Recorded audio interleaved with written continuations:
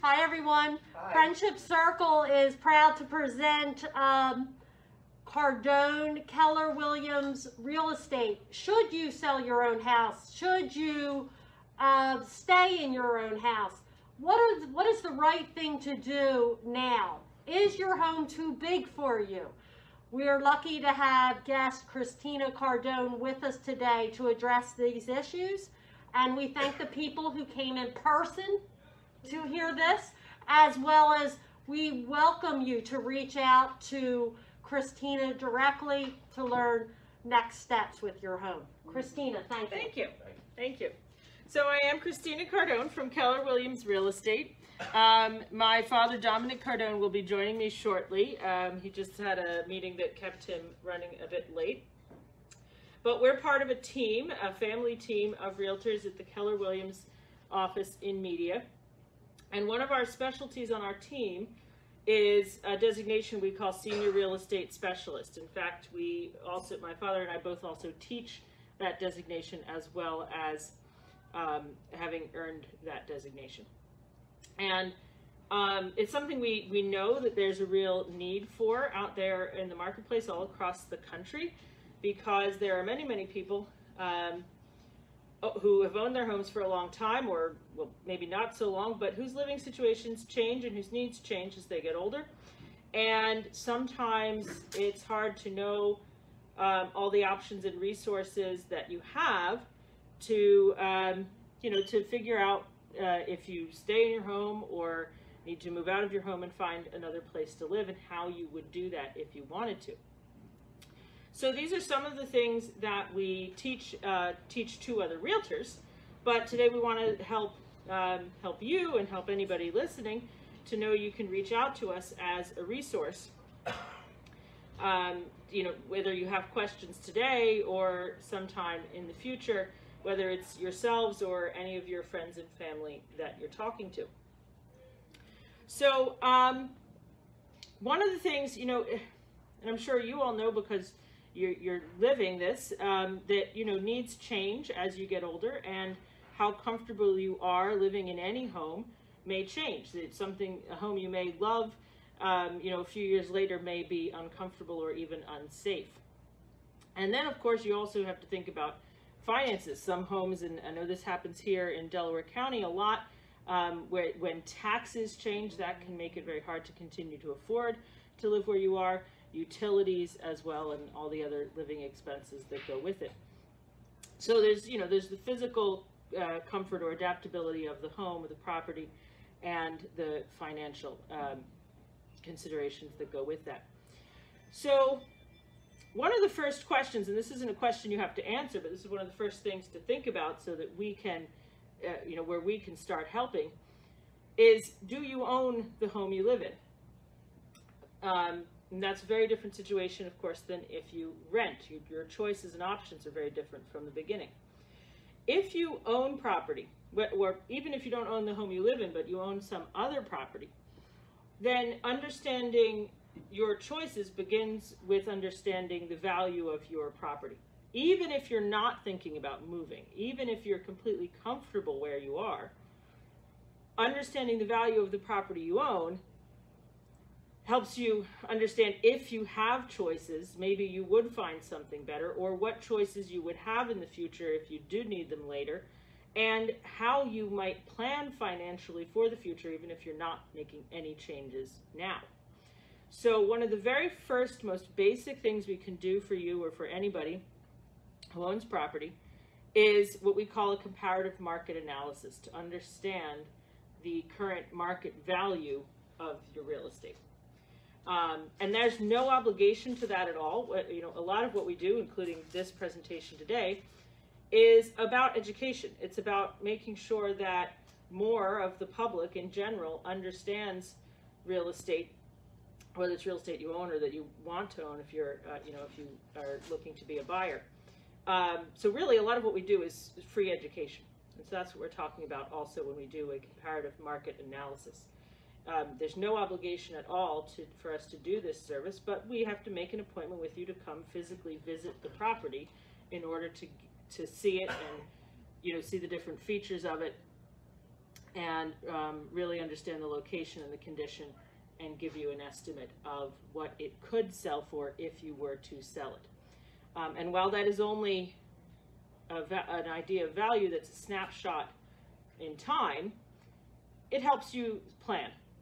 Um, whether you're thinking about selling immediately or whether you're thinking about using the the equity in your property to borrow money to make changes um, or to have options, or um, whether you're planning to stay there but looking to make you know estate plans. Understanding the value of your property is really where you have to begin. So that's one of the very most very first and most basic things we can do um, the property doesn't have to look good for us to come see it.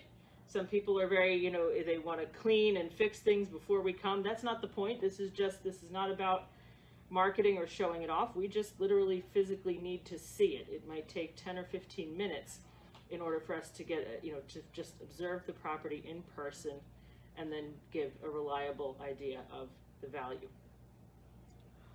Um, and starting from there the reason you really have to start there if you own the property. Um, if you if you have equity in the property so if you have a mortgage on the property then you may already be paying that monthly bill and maybe you've had that mortgage for a long time maybe you've paid it down. You may have equity in the property even if you have a mortgage. In fact these days you may have a lot more equity than you think because values have been going up very quickly over the past two years um, and even before that so really for the last they've been steadily um, it, values have been steadily rising or property appreciating for the last um, almost 10 years, but especially in the last two years, that rate of appreciation has been a lot faster, not just here, but everywhere. Um, and in some ways, that's a, that's the result of the pandemic, but not just because of that. In fact, really, the primary cause of, of values going up around the country is that um, most older people who own homes aren't selling them. and that it, that is really the primary factor contributing to tight inventory, which is what is making um, buyers compete and making prices go up. So that's just true because of our um, aging population as a country. It's it's true here. It's true everywhere. Um, and that isn't to say that we're you know that not to encourage everybody to sell to change this, but because it's not really a problem um, but it is what is making the market go. And, and we know that many people are holding on to their homes because it is hard to find options. It's hard to find another affordable place to live or even or to understand if you could even do that. And so not to encourage everybody who owns a home to, to move and let somebody else uh, buy it and you know and let the market move up and you know change the whole economy. That's not what we're saying, but to make sure that people know the choices they have because quite often people are living in situations they begin to find uncomfortable and they can feel kind of trapped because you don't if you don't know your choices. So so you understand value first of all. We do a comparative market analysis. We do a short visit to, at your property and we tell you what the value of your property would be today. Uh, and then that lets you figure out what you would do next. It lets you answer the question, first of all, do you have equity? Do you, do you owe money on the property? Do you owe some money but still have uh, equity that you could borrow against? Uh, do you have no debt or no mortgage on the property? And then you have even more choices because you have all the equity in the property. Or if you find out the value um, is not much more than the debt that you already have. So if you already have a mortgage that is almost as high as the whole value of the property, then you don't have equity to borrow against, but still you are probably worth more than you think because everything has gone up so much. Just, just like when you go to the store, you go to get gas and every all the prices you're paying are higher. Well, that's the same if you were to look at selling or look at the value of your house if you were to sell it it's going to be more expensive than you think as well. But that can work in your favor if you're the owner. So the next questions that you have to think of after that um, really start with how comfortable you are in your property. Um, and that's, you know, uh, physical comfort, you know, with the space and, um, and the, uh, um, you know, systems in the house. Is it all, you know, um, working properly, you know, plumbing and heating and, but also things like going up and down stairs, in and out of bathrooms, bathtubs, and, you know, things that could become more difficult over time. Um, and the condition of the property, is it, even if it's comfortable and in good shape today, is it going to stay that way? Can you maintain it? Uh, and, and then, and you know, from that transitioning also into thinking about the finances, keeping it, you know, paying uh, the taxes, paying the mortgage, paying the utilities to keep living in that property. And then you think also, you know, is it, um, is it more than you need? Are you paying to keep up a property that you're um, that you're only using part of? And are there ways to uh, maybe to work around that? So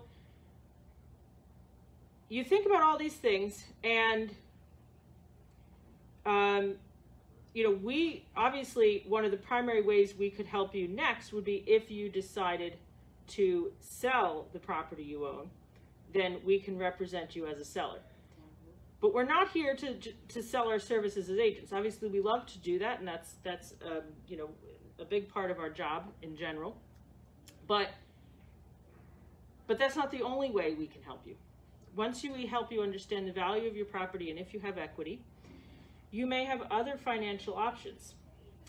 Um, a reverse mortgage is one of the things you may have heard about, and some people do. And reverse mortgages have, um, in the past, have gotten sort of a bad name for themselves. They've gotten a bad reputation because some people, and this goes back a few years, because the whole reverse mortgage um, policy uh, how those loans are structured changed a few years ago because people felt that they were kind of predatory. That was how people were perceiving them.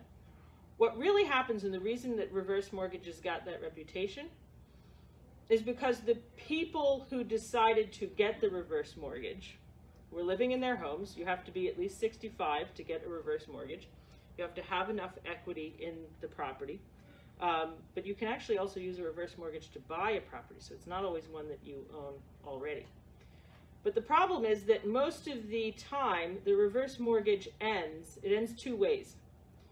Well, I guess it ends three ways. You can sell the property, but most reverse mortgages end either at the borrower's death or if the borrower cannot live in the house for more than 12 months. So if you're not resident in the house, that mortgage becomes due. So if you end up, if you go to a nursing home or live somewhere else, if you move in with family or move to any other property, any other living situation, then you're not in that property and the mortgage becomes due. But the result is that many of the people dealing with the fallout of these reverse mortgages were not the borrowers who knew how they worked and who decided to get them, but the family members who knew nothing about it and who felt that their potential inheritance had been taken from them. So reverse mortgages got a bad reputation, really um, unfairly, because the people who made the decisions to have the reverse mortgage were not the people who were dealing with it afterwards, and those you know the those people didn't understand how it had started. But reverse mortgages can actually be really great because they meet a specific need. Most of the time, if you want to go get a loan and borrow money, you have to have um, you have to have three things. You have to have income, credit, and assets. And if you're retired or you're not working very much, you don't have a lot of income. Um, and so that part by itself can be hard to qualify if, uh, for, as it would be for a traditional mortgage or, or most other types of loans. A reverse mortgage uh, generally is structured that you don't make payments on it. You do not make monthly payments on a reverse mortgage. So they don't care if you have income or not. They are designed for people who are older and probably working less or not working. Oh, and here's the other half of our, or other part of our team. This is Dominic Cardone, my father. He's going to chime in. Thank you for having us. And we're on camera, by the way. Here, come on Oh, over. so hi. you can- Hello. There you are. There. Um, so I was talking about reverse mortgages as um, we started with CMAs and understanding value of reverse mortgages next. So Reverse mortgages are cool. They can be, right. Um, so that because you don't have to make payments, you can qualify for them much more easily. They're not as concerned. They're not concerned about income really at all, and they're not very concerned about credit. What they're really concerned about is just the equity in the property. Um, and what they can let you do if you have the equity in the property and you can borrow against it, you um, you could get a reverse mortgage potentially and use that money to um, make changes to the property you're in, to fix things that need fixing, or to adapt it so that it's more comfortable to live in. Um, we can talk about some ways you would you might do that. Um, you can you can use that money to uh, to live on to, to cover living expenses. In fact, you could have a monthly payment from that mortgage, uh, and that could almost feel like income to you. So that could support other expenses that you have in your life, um, even utilities and taxes. Um, you could also even use a reverse mortgage, as I mentioned, to buy another property potentially. So if that's the goal to move and to find something else, you could use a reverse mortgage to do that. And you could do that, you could use that reverse mortgage on a property you own now to buy a new house, but you could also potentially use a reverse mortgage just to buy the new property, a reverse mortgage on the new property. But to do that, you do need um, uh, to have some more assets because you need to have a larger percentage of that purchase price in cash. Let me go back to what Christina just said about using the reverse mortgage proceeds to stay in the That's the same next thing I property. wanted to talk about. Yep. You might want to, maybe you have bedrooms and a bathroom Mm-hmm. upstairs and you can't handle the stairs anymore, so you might use the money to put a lift in. Right. Or maybe you're going to use the money to put a, a bathroom in on the first floor. Or maybe you're going to convert a first floor room or garage into a bedroom. You can use the reverse mortgage to do that. Maybe you Right. need new windows or a new roof. You can use the reverse mortgage to do that. Exactly. So that was the very next thing I was going to talk about to, to lead from uh, from one thing to the next, is that again, go starting with understanding the value of property. Um, the answer isn't the best answer isn't always move to another property. Sometimes it is. You have, you, but that's a decision you have to make, knowing all the options and all of the, um, you know, all the factors and all the plans you have for your life. But if the best idea is to stay in the property that you're currently in, it may be much more comfortable if you adapt to aging in place, is what they call it in the textbooks.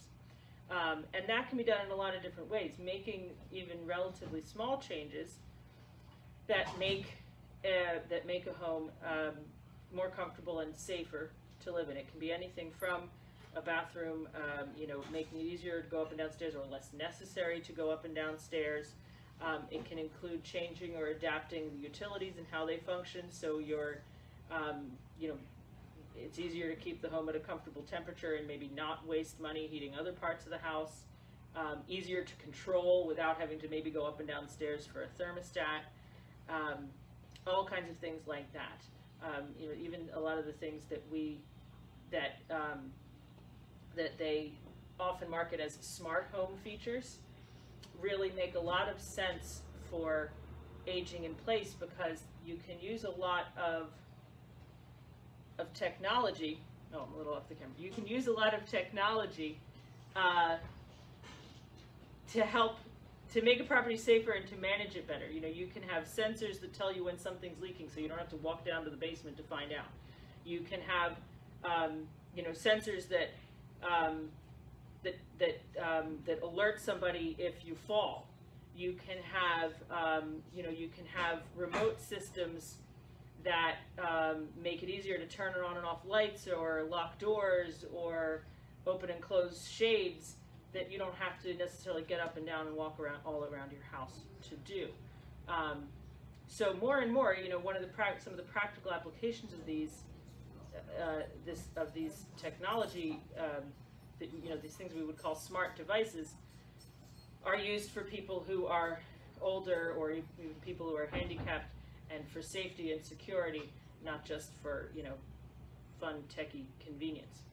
So. Um, reverse mortgages are one of the ways that you can finance that. We can also help. We can help connect you with uh, great experienced reverse mortgage lenders because it is a specialty. So not every lender can even tell you about a reverse mortgage or help you get one. Uh, but there are other kinds of loans and other uh, financial resources that may be available too, and we can connect you with contractors who uh, specialize in doing these kind of updates to adapt the home to make it uh, more comfortable and safer. So we can help you figure this out, and we can, you know, back to the question of value where we started. Um, we can help you understand where some of these changes might improve your property and add to the value, or detract from the property. So you're not just making these thing these changes or improvements for your own convenience, but also with an eye to the value of your property over time. Um, and One of the other points of a reverse mortgage is some people find themselves, they use the term property poor. And they need uh, income uh, to live, and they have to take care of this house, but they have no mortgage on the house, uh, but they don't have enough money to take care of it. So they think to themselves, well, I need to sell the house and get that money so I can go rent an apartment. Well, with a reverse mortgage, you don't need to do that. You can stay in your home. You can get the money the, that's you know that's tied up in your home, the equity, and you can get some of that equity and you can live off of it. You can pay your bills, but you can also do improvements to the house to make it more comfortable and safer, as Christina says. So the idea of reverse mortgage is really phenomenal in, in concept. Uh, and remember, there is no monthly payment on the reverse mortgage. You don't write a check out to the bank. In fact, in some cases, if you need the income, the check will write a check. The bank will write a check out to you each month, maybe five hundred dollars a month for the rest of your life. That's you know nice additional income. Now, every time they write you a check, that that goes against the equity in your home.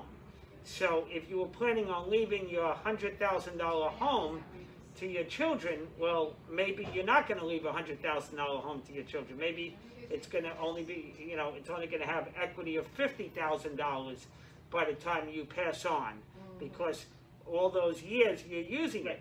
But what's really nice is if they give you that money each month, and they even exceed the amount of value in the home, they keep giving you the money, and you don't ever have to worry about it. You can outlive you can take advantage of the system and just keep living if you can. And uh, there's no there's no way for the bank to come after you or your estate for any money. Um, that's non, why there's they're a, called non-recourse loans, Right, so they and never come after you if you owe them more. and One you have to pay when you get the loan. You have to pay what's called an insurance premium. That insures the bank in case you live too long. The bank doesn't lo- really lose money. Let's not worry about the banks Yeah. so much. They're, they're covered. It, the- again, oh yeah, questions, Is the please. interest rate on reverse mortgage uh, higher than banks?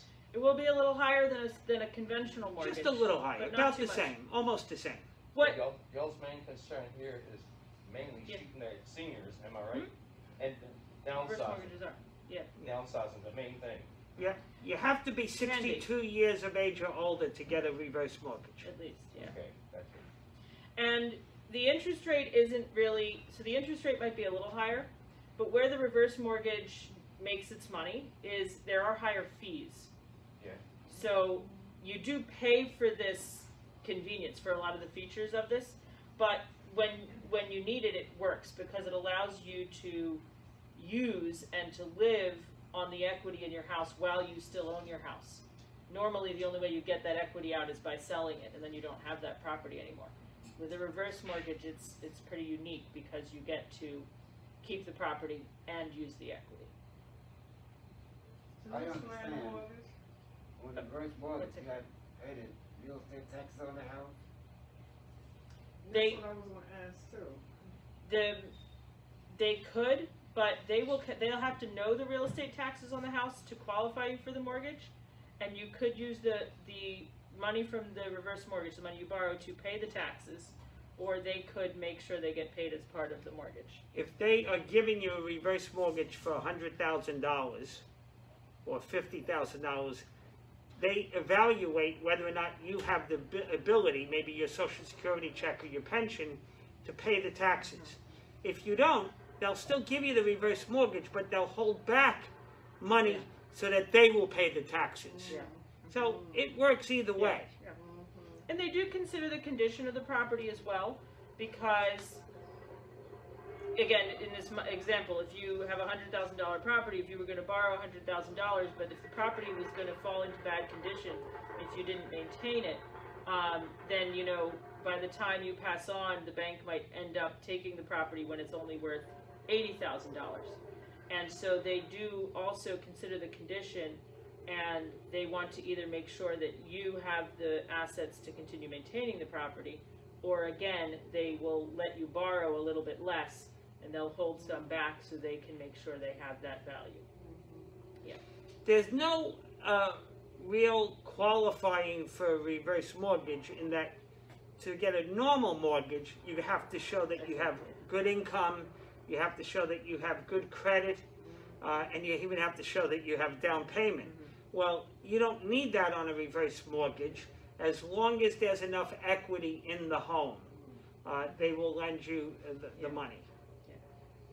And so it's not the only answer, but it is one worth considering because it does, it is, it's designed for older homeowners to be able to do it and to qualify more easily. And they're structured in such a way that you can continue using them as long as you live and live in the property. Um, and they don't become due until either you pass away or you don't live in the property. for one year. For- if you move for out for a two months Yeah. because you you you went to Yeah. rehab for you know knee replacement, whatever, as long as you move back into the property within a year, they don't call it due. But if you die, or if you move out for more than a year, then they call the mortgage due. But Right. that just means you either have to pay the mo- balance off, or you let the bank take the Right, property. you either, at the, when the mortgage comes due, um, whether you're still alive to deal with it or not, either you're gonna sell the property to pay it off, or, um, or the bank will take the property. Um, but you've gotten to use all the equity in the meantime. The real interesting thing is what Christina explained earlier is maybe the house you have is too big and you want to buy something small, maybe in a condominium or something like that. You can buy the condominium using a reverse mortgage. Um, so that's an, an and then Right, because the requirement of a reverse mortgage is you must live in the property. So if you're Property buying a that you borrow condo that you're to live in, they'll give you the mortgage on the so condo. you can use a reverse mortgage to purchase in two, two ways. So one is the downsizing way, that, that in that model. Let's say you own a three hundred thousand dollar house, but you want to move into something smaller, let's say worth a hundred thousand dollars. If you took a reverse mortgage out on the three hundred thousand dollar property, they could, would lend you at least a hundred thousand. And you could take that and use that to purchase the new property for a hundred thousand. Sell the property for three hundred thousand. Pay, as you sell that, you would pay off the reverse mortgage and you would own the new property debt-free. By, but you would not have to do the sell and buy at the same time. You would get to make it more comfortable and buy before you sell by using the reverse mortgage. I have. I have cousins who are in their 80s, and they are now doing their second reverse mortgage. They had a reverse mortgage on a house. They sold it, paid it off, and the house right across the street from their daughter and grandchildren came on the market, and they bought that, and they're even fixing it up using a reverse mortgage to buy the property. Because once they give you the money, you can use it for whatever you want. Yeah, you can use it for whatever you want. You, if you have, say, say you have a, a grown child, a son or a daughter, and they have a home, and they say, well, you know what? When you come visit, we want to have a little in-law quarters for you.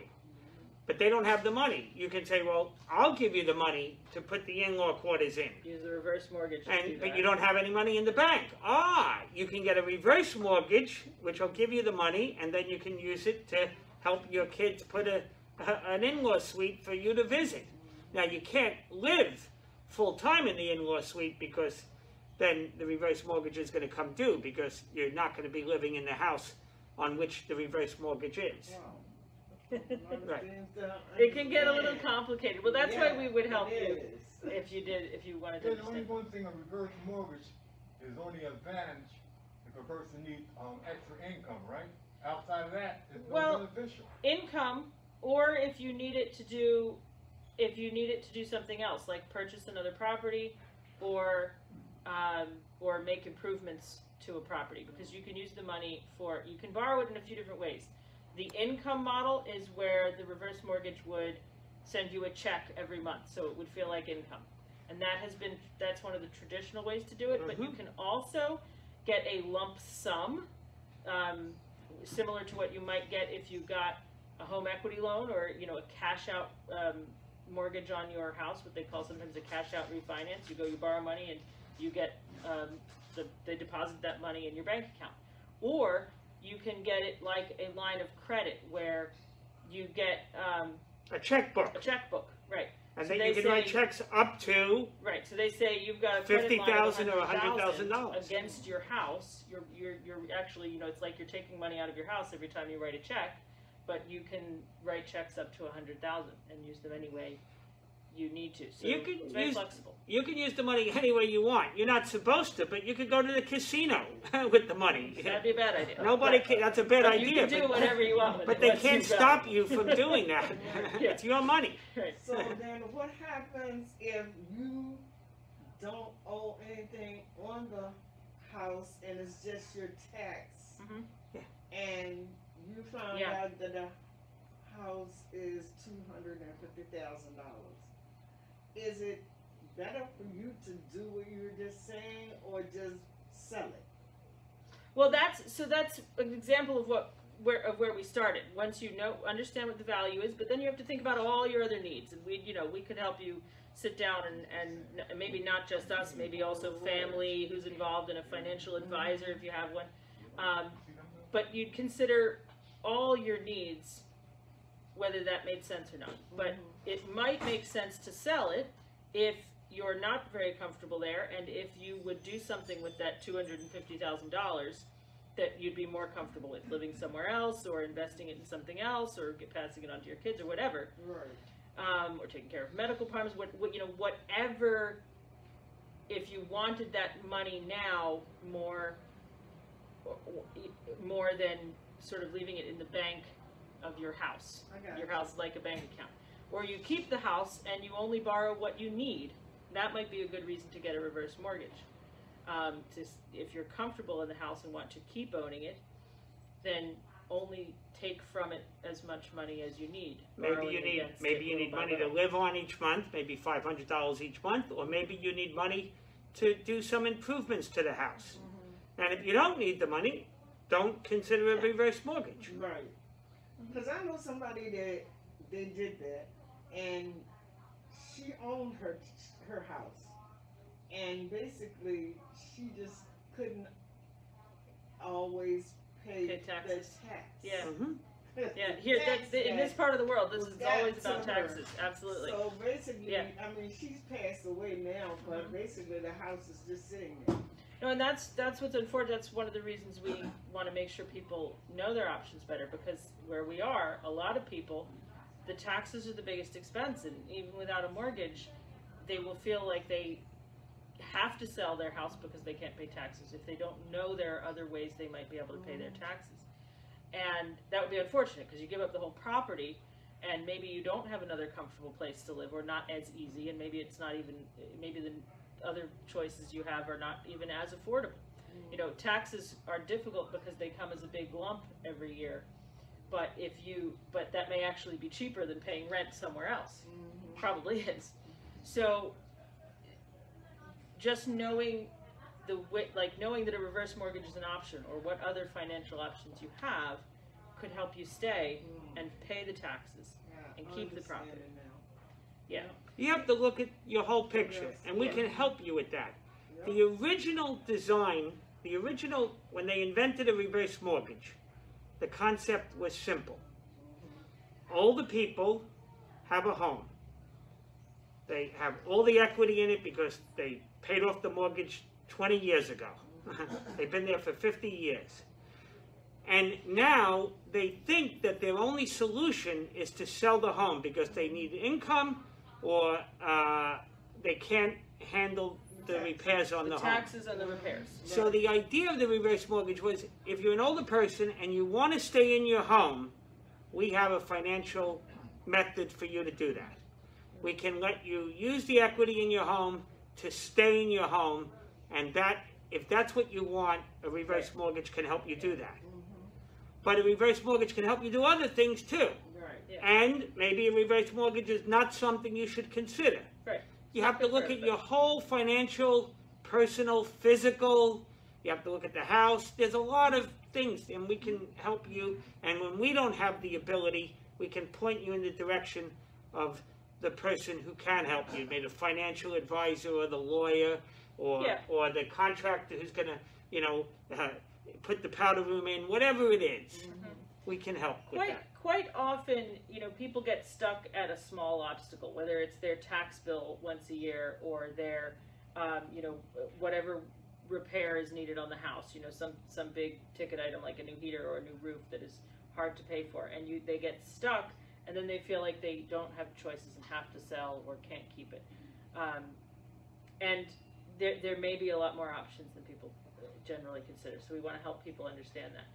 Um, but also the decisions about things like a reverse mortgage and and you know looking at the whole picture of your needs physically and financially you know sometimes that means you know thinking about complex medical stuff financial planning um, even, even when you don't think you need a financial planner it's like when it's like when you don't need an accountant until you need an accountant. Uh, you know like uh, it helps sometimes to get a little bit of professional advice to make a plan that makes sense. And if you- Estate planning And is if you have family, children, family. or brothers, sisters, they can be part of the plan. Mhm. Um, and estate planning is something that, um, again, people often put off and think they don't need, but it can really help, um, you know, you and family members understand what's what's going to happen and make a plan that makes sense so that you make arrangements now when you can control them about what happens afterwards when you can't. Mm-hmm. And that can be about your property and other assets. So And and there are two legal instruments Yeah. that everybody should have, whether they're 30 years old or 80 years old. Mm-hmm. One is a will, and the other is a power of attorney. Mm-hmm. There's two types of powers of attorney: a medical power of attorney for someone to make decisions for you medically if you're not able to do it for yourself, and the other is a financial power of attorney for someone who can make financial decisions for you if you can't do it for yourself. Um, just coincidentally, last week, Christina and I are very close to someone who's 88 years old and she's got no family, and she finally met with the attorney and created a will and created a power of attorney. She asked me to be her medical power of attorney about a year and a half ago because she had she broke her neck, kind of she needed heart surgery, and over the years I've been at her bedside helping her, and now I have the legal authority to help her officially. So those are good ideas to have. and these things come up again. We're we're real estate agents. We're not financial advisors or attorneys um, or accountants uh, or contractors, but we can help connect you with these people if needed. Because once you start having the conversations again that start with understanding value of property, then then you you often need to put these other pieces together. Um, not everybody needs every one of them, but you need to, to put them together and consider them all as a whole. So, um, where did I want to wrap up? So, starting with the value of the property, um, you know, understanding financial options like a reverse mortgage, for example, that can allow you to stay and age in place comfortably or give you more options to live comfortably in other places, um, more options than you may have thought you had. And then, of course, we can help sell property. So, you know, that's the, the, the most straightforward way that real estate agents can help. Um, but before we ever do that, we want to make sure that you have considered a whole picture of all of your needs and plans for the future and that you know where the next comfortable place that you're going to live is because too many people again feel pushed or trapped into these decisions and we hear stories uh, not clients we help but other people's clients where they sell a house or sell property because they, they feel that they had to for some reason and then they just end up in another situation that's less stable and no more secure um, i just helped a, a woman in her 80s who sold her property. She felt like she couldn't keep it, moved into an apartment, and guess what? I'm- I helped her do, you know, four or five years later, buy the house next door to the one she used to own because, in fact, that was a lot better for her. She thought renting was going to give her more control financially when she retired, but in fact, it's not really. Those prices aren't fixed. Her rent went up, utilities went up. It was not as secure, and she wanted to go back if only she, you know, she would have saved money in the long run if she just stayed where she was, but she didn't consider all the options at the time. So um, sometimes it's better to stay where you are. But when it's when it's a good decision to sell, then you have a particular set of needs. Obviously, every seller generally wants to get the best price and terms for their property, which we can help you do. But that amounts to, that's more um, that's more specific a lot of the time than just selling every property the same way. Not every property gets sold the same way. And one of the things that we specialize in is helping people sell when they need to sell quickly, when their properties are not necessarily in perfect condition. Not everything has to be updated and freshly painted and look like it's out of a catalog. Um, we can sell properties uh, in any condition and still sell them very well that's one of the good, uh, you know, things that's been really good, uh, especially in this market in recent years. It's been a seller's market, so um, it's easier to sell. And uh, so nobody should be giving you advice that says you have to spend all this money in order to sell your property. You should be able to sell it without spending much money or any money. Do you sell in Delaware County and Philadelphia County too? Delaware, yep, Oh, Mhm. okay. And all of That's Chester said Delaware County. County. Yes. But also Delaware State. Delaware State, my dad's Okay. licensed in Delaware, we do all of Okay. Delaware County, Chester County, uh, we can go into the city, we do Montgomery County, um, New Jersey. New You Jersey. got it. We got you covered. Well, Yeah. right. Yeah. Thank you. We can even connect you with other realtors who are senior real estate specialists anywhere in the country. I don't know if Christina said because I came late. We teach a course called Senior Real Estate Specialist once a month to other real estate agents least once a month. to help them understand how to meet the housing needs of older Americans. Mm-hmm. Did, so was there another question or someone raised their Yeah. hand? What is your selling rate percentage? Selling, I'm sorry, Your percentage? What's our commission sales. rate commission? to sell? Your percentage, yes. It is negotiable, but most of the time it is six percent of the sale price, which we share. The listing broker in this marketplace and in most marketplace agrees to usually pay about half of that commission to the agent who represents the buyer. These are things negotiated in every listing contract with every seller. So every seller, we explain all the costs of selling and give you an estimate of all the costs, not just ours, but every other cost you would have in the transaction. And uh, again, that's part of what would play into any, you know, whole financial plan as you make these decisions. Are y'all backed by Better Business Bureau? Oh, that's a good question. You don't get backed by the Better Business Bureau. You, you just, We're each independent contractors. right. The companies are. But I've been a broker for 39 years. Christina's been a broker for 18 uh, years. Not a broker. A real estate, salesperson.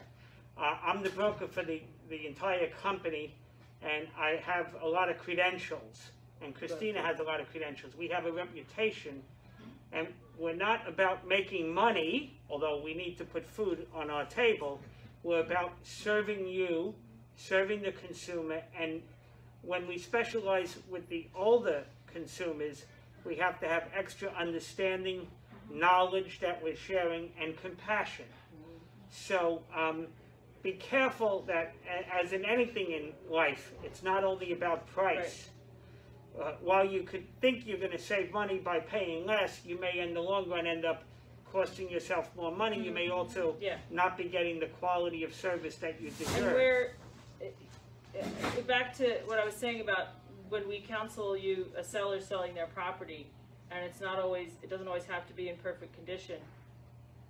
We are, we also specialize in negotiating for every seller in every situation. A lot of other realtors, if a property's not in such good condition or the seller is, they perceive to be more motivated or have less financial, um, you know, just have less money, then they don't necessarily, um, negotiate as hard for every client because it, you perceive to have less options, so they give you less options, and that's never correct. Um, so really, we take, um, you know, a big part of our job is making sure that the client's always in charge and making sure you have absolutely all the options, which include the options to sometimes decide not to do this or not to sell or not to do something. And um, when when we but when we start with education, it's because we want to empower the clients, all of you, every consumer, even before you decide to work with us, to decide if you work with us, and then to decide if you do any particular transaction along the way. And we only um, we only ever get paid if a property goes to settlement, but you're in complete control of all the decisions before that. So if it's never if it's not right, you don't even get there. And when we become your agent, we are obligated to look out for your interest, to protect you, to advocate for you to, to negotiate on your behalf, to treat you like you're our family.